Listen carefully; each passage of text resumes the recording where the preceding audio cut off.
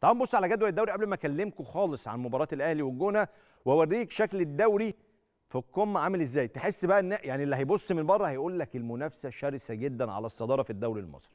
وهي حقيقة يعني نظريا بس الكورة مش حلوة. الزمالك في الصدارة ب 51 نقطة من 23 مباراة، بيراميدز في المركز الثاني بنفس رصيد عدد المباريات ولكن ب 49 نقطة، فرق نقطتين فقط عن الزمالك. الأهلي عنده 21 مباراة جمع فيهم 45 نقطة، لو كسب المباراتين المؤجلتين هيبقى بنفس الرصيد مع نادي الزمالك، يعني هيبقى الأهلي 51 الزمالك 51 بيراميدز 49. تعال بقى على فيوتشر وسموحة. فيوتشر وسموحة كل فريق فيهم عنده 39 نقطة.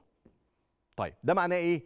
معناه إن هم فارقين عن المتصدر ب 12 نقطة أربع مباريات أربع خسائر للأهلي أربع خسائر للزمالك زيهم لبيراميدز سموحة وفيوتشر يخشوا في منافسة على الصدارة لو طبعا كسبوا مباراتهم اللي جاية. فيوتشر عنده أهلي وعنده زمالك كمان بالمناسبة. طيب هتقول لي يكسبوا أو الأهلي والزمالك يخسروا أربع مباريات؟ بص على الجدول يا فندم. هتلاقي الزمالك خسران أربع مباريات فعلا ومتعادل ثلاثة هتلاقي الأهلي خسران اثنين ومتعادل ستة. يعني النقاط السنة دي في الدوري بالنسبة للأهلي والزمالك فيها إهدار كثير جدا جدا جدا. يعني لو فيوتشر وسموحة آمنوا بحظوظهم ممكن. لو بيراميدز طبعا اللي اقرب للأهلي والزمالك على الصدارة آمن إنه يقدر يكسب الدوري ممكن. لسه بدري على الدوري. بس أنا عاجبني إن الشكل ده جديد. الشكل ده جديد علينا. كان دايما الأهلي والزمالك بيتصارعوا على النقاط والباقي تحت قوي. يعني تلاقي مثلا مثلا يعني الأهلي والزمالك 51 نقطة وتلاقي مثلا سموحة عنده 27 نقطة. بعيد قوي. لكن دلوقتي لا الكل قريب.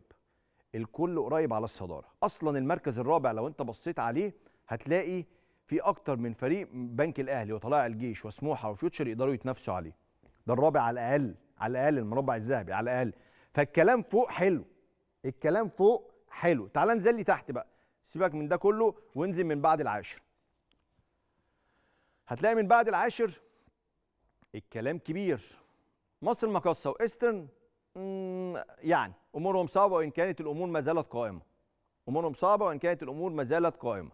الثالث الثالث في الصراع الهبوط لا منافسة شرسة جدا الاسماعيلي المقاولون العرب والجونة ويجي بعديهم بشوية ثلاث فرق الجونة وغزل المحلة و أو غزل المحلة وسيراميكا كليوباترا وإنبي من بعيد شوية. بس أنت بتتكلم على صراع الهبوط في رأيي في رأيي أخف من صراع أو منافسة الصدارة السنة دي. ودي حاجة مميزة دي حاجة استثنائية دي حاجة استثنائية. يعني الحكاية دي مش موجودة كتير في الدوري المصري على مدار سنوات. صعب تشوف في أكتر من فريق قريب من الصدارة. صعب. هي الحكاية دايما أهلي وزمالك زمالك وأهلي. لكن فرق تبقى قريبة من الصدارة ما كانتش موجودة في الدوري. هتقول لي ده معناه إيه؟ معناه إن الدوري بتاعنا السنة دي قوي جدا. هقول لك نظريا على مستوى الجدول آه.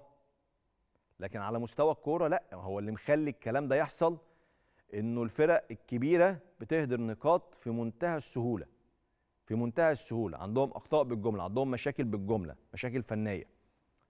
فخلت المنافسة قريبة. وده دايما اللي كنا بنقوله. الكل شبه بعضه في الدوري المصري دلوقتي بكواليتي اللاعب اللي موجود دلوقتي الكل بقى شبه بعضه. فروقات بسيطة جدا.